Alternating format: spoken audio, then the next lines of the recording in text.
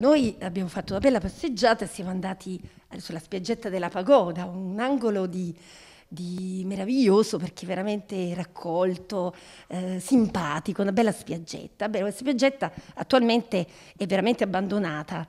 C'è una pseudo panchina eh, molto vintage, tra l'altro, perché praticamente la panchina è ridotta solo a un, a un, diciamo, un tronco lungo così sporcizia tut- da tutte le parti, quindi nessuno che va a pulire e soprattutto poi abbiamo scoperto questa, questi, questi, cavi, questi fili elettrici con questa praticamente esposte al vento, all'acqua, che se fossero in tensione sicuramente potrebbero creare una sorta di incendio o appunto creare grossi problemi.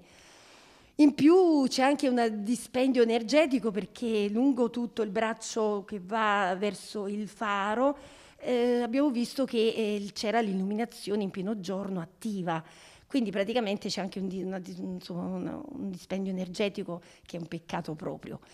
E noi, io infatti ho anche fatto presente, eh, soprattutto della cassetta delle, delle, prese elettriche scoperte così al, al, al, al comandante, comandante, Cipresso, che è una persona squisita, devo dire la verità.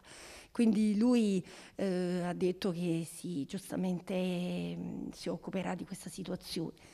È un peccato perché noi, già la spiaggetta due anni fa fu interessata da una sorta di fai da te, avevano Infatti mm, sapemmo anche questa cosa che eh, c'era chi eh, aveva creato una sorta di eh, lido privato, quindi affittava ombrelloni, così.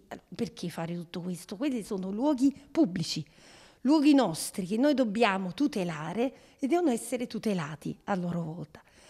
Quindi noi perché dobbiamo tenere, io allora dico, il problema vedi, di uh, Ischia e parlare dei problemi di Ischia è molto facile, uh, metterli in evidenza, di, uh, discuterne, su, però è anche difficile risolverli.